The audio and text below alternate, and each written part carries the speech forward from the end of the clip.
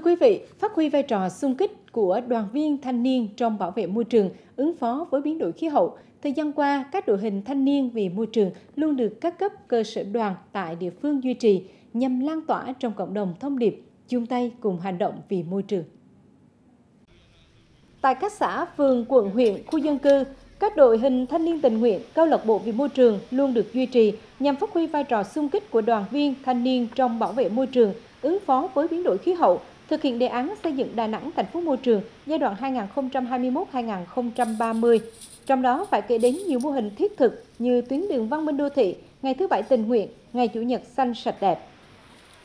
Về công tác vệ sinh môi trường này là một trong những cái nhiệm vụ ờ, thường niên chi đoàn của bọn đoàn viên rồi ờ, kết nối các đội hình của các ờ, chi đoàn phường ven biển đó rồi những chi đoàn những các đơn vị khác thường niên xây dựng cái kế hoạch cũng như ra quân vệ sinh môi trường để đảm bảo một cái biển xanh sạch đẹp.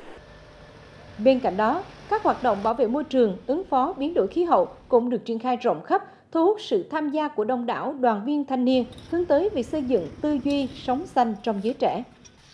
Đoàn viên, thanh niên và các cơ sở à, tổ chức đoàn và các đơn đặc biệt là các đơn vị quận huyện sẽ tiếp tục ra quân à, dọn dẹp vệ sinh môi trường, tạo nên cái cảnh quan của thành phố À, vui xuân đón Tết trong cái dịp Tết à, nhâm dần 2022. Đồng thời là triển khai nhiều cái đội hình, nhiều cái câu lạc bộ và nhiều cái mô hình ý nghĩa trong năm 2022 để tạo nên cái cảnh quan ngày càng xanh hơn, đẹp hơn và chung tay xây dựng thành phố à, đáng sống.